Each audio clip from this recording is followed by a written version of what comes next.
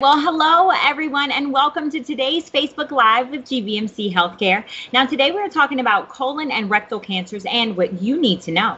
So, let's welcome our guest, Dr. Nina Ferraris, board certified colon and rectal surgeon at GBMC Hospital. And remember, we want to hear from anyone watching. Please don't hesitate to ask us your questions. Now, welcome, Dr. Ferraris. How are you? I'm great. Thanks for having me. Thank you for being here. So, talk to us what is the difference between colon and rectal cancer? Um, so, mostly location. Um, the rectum is the last part of the colon right before it empties. Um, and so, the where the tumor is uh, determines whether we consider it rectal cancer or colon cancer.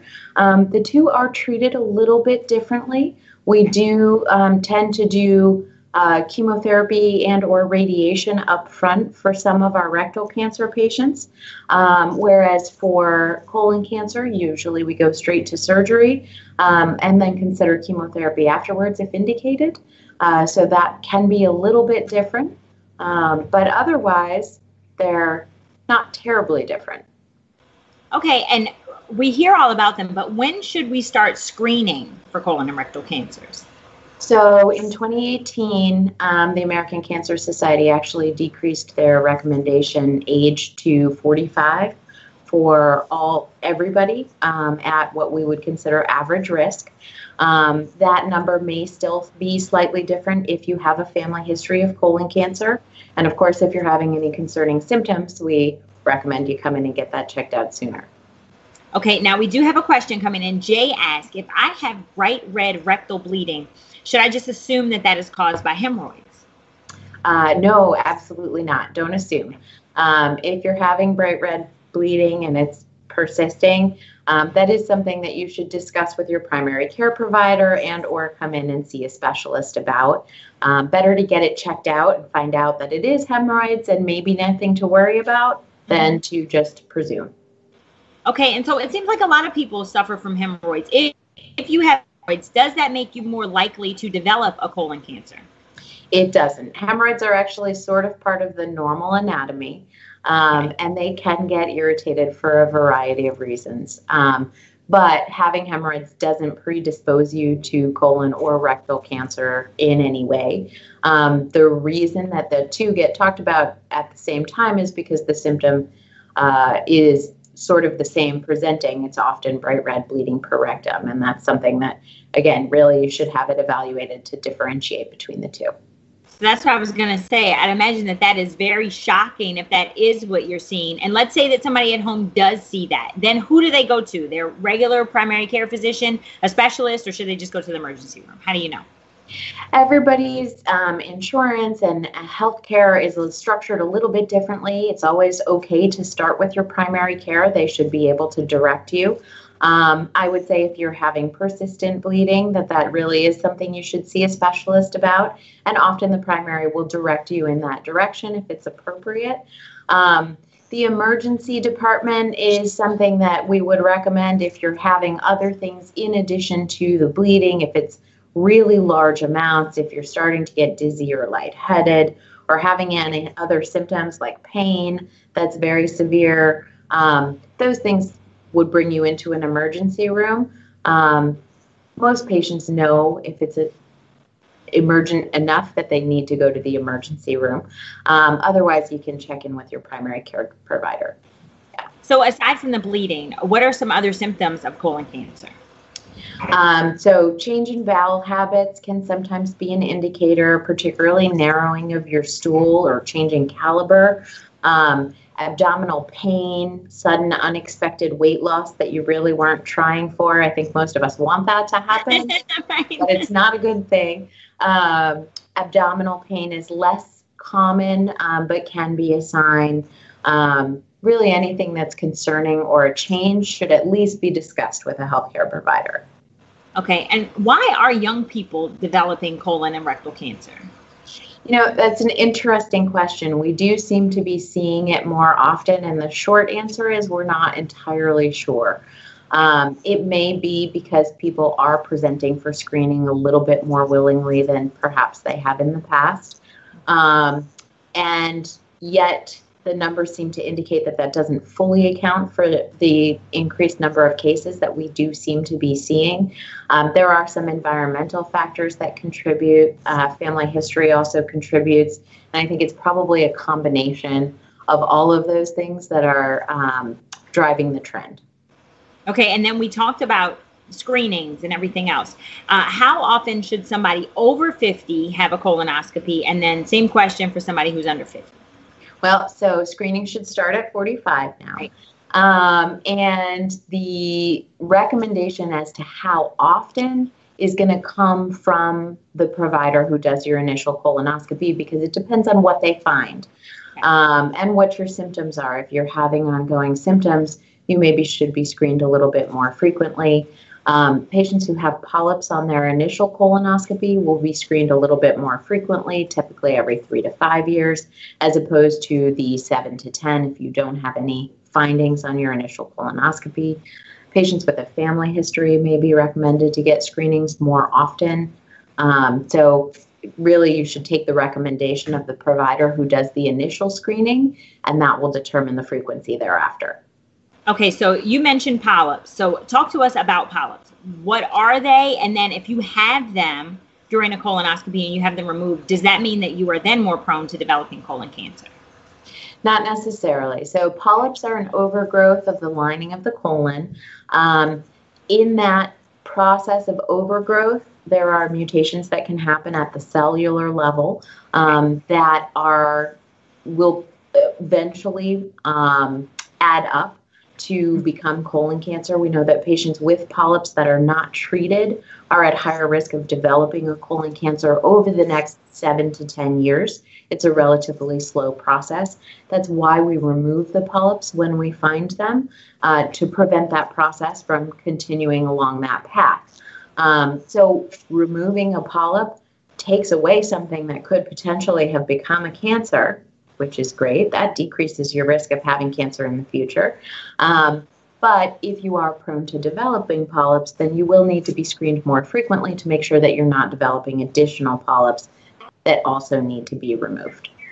Okay, and so let's talk about the prep for colonoscopies. I've had one before, right? So explain to everybody who is watching the different options um, that you have when doing the prep and if there's a benefit to choosing one over another.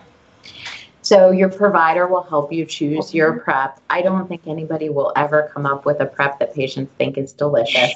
Not sure that's possible. Um, it's meant to clean out your colon, which is not, not always uh, a lovely process, but it's typically not so bad.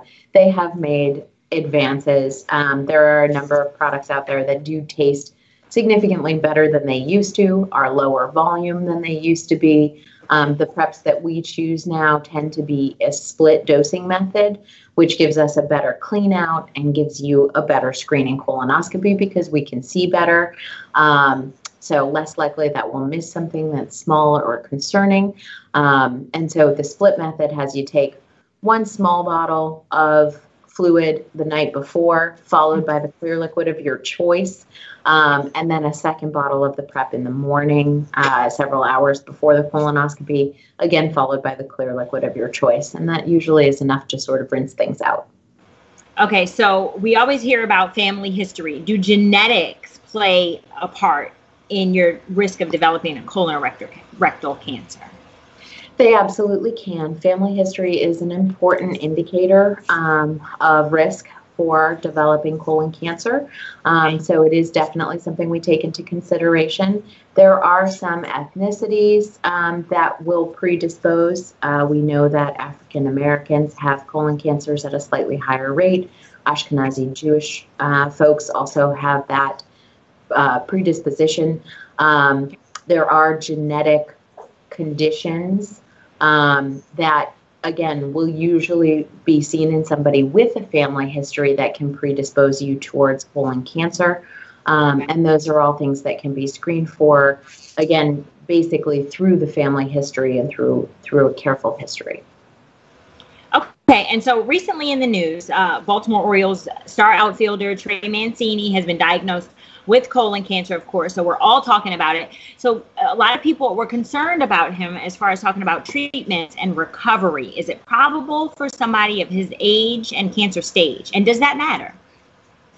Um, it does. The cancer stage uh, matters probably most in the prognosis. Um, colon cancer is something that typically, if we catch early enough, patients do very well with appropriate treatment and follow up screening.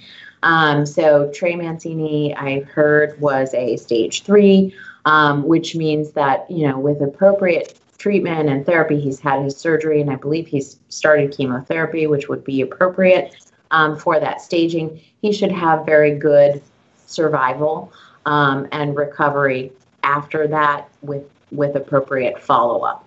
Um, I believe uh, typically for a stage three, we would say we measure things in five year survival. It's usually around 75% for somebody at that stage. So, okay. And so, uh, can you talk about the stages? I know we always hear about it, but especially when it comes to a colon or rectal cancer, can you kind of go through the stages and what that means? Sure. So, a stage one um, colon or rectal cancer is a relatively small tumor. So that means that the T size is low. Um, lymph nodes and whether or not the colon cancer has spread beyond the colon are the two other things that we look for in staging. A mm-hmm. stage two cancer is a slightly larger tumor. Stage three typically means that you have some lymph node involvement. Um, and stage four is what's known as metastatic, or meaning that it's spread outside of the colon. Okay, and so when we talk about our lymph nodes and then some of the symptoms that you were talking about. I know we, we all know for breast cancer that they talk about lymph nodes, but is there a certain lymph node area that would kind of give you an indication that you have a problem with your colorectal cancer? Not one that you can feel. Okay.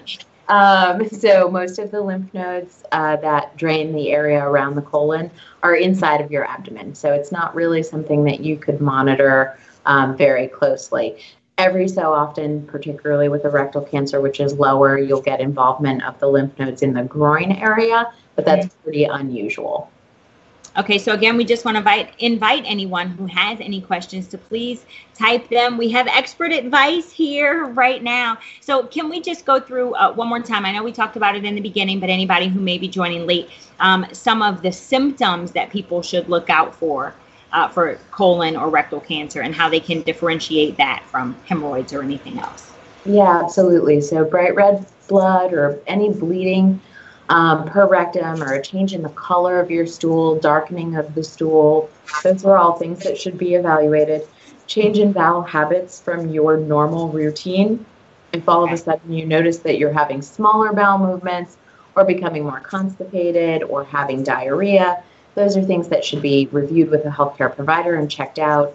Um, abdominal pain, unexpected weight loss. I know, again, we, we all wish we had that, but it is not something that you should take lightly. It should be evaluated.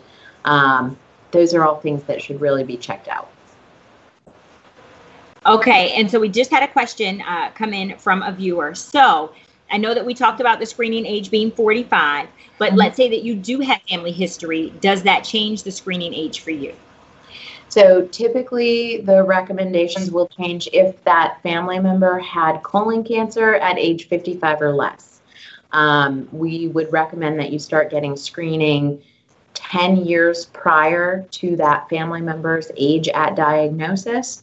So, for example, if you have a family member who had a colon cancer diagnosed at age 50, you should probably start screening at age 40. Um, if the person in your family was a little bit older at the time of their diagnosis, you certainly want to make your healthcare provider aware of that family history, but it may not necessarily change your age of initial screening unless you're having symptoms. If you know you have uh, colon cancer in your family and you have any of the symptoms that we mentioned, then certainly you would want to take those seriously and have them evaluated. Okay, I have another question. This one's coming in from Susan. Do you think that Lynch syndrome awareness has helped with finding finding colon cancer, colon cancer in the younger population? Um, it it has to some degree, and we are able to define the genetics behind Lynch syndrome a little bit better um, now that we have um, some of the genes identified that we can screen for within families. Um, Lynch syndrome patients or patients who have a very strong history of colon cancer or some of the other associated cancers like endometrial cancer. Um, those patients do need to be screened more carefully and at a younger age. So that may be um, contributing some uh, to our identification of cancers earlier in patients. All right. Well, thank you so much. I, I think we kind of covered everything. What do you think? I think so. I think we covered most of it. The only other question I get a lot, which uh-huh. is is um, what can I do to prevent my risk of colon cancer? We would encourage everybody to get out of their house. I know restrictions are finally getting lifted. You want to be active. You want to try and maintain a healthy weight, eat a good diet, high fiber, drink plenty of water, particularly important in the summer, and keep things as regular as possible. A diet low in red meat or very processed foods or meats can be helpful. Um, and those are all just good general suggestions. All right. Well, Dr. Ferraris, thank you so much for joining us. We want to take time to thank everyone else for tuning in. We certainly appreciate you taking this time and giving us all of that expert advice. And tell everybody where they can find you.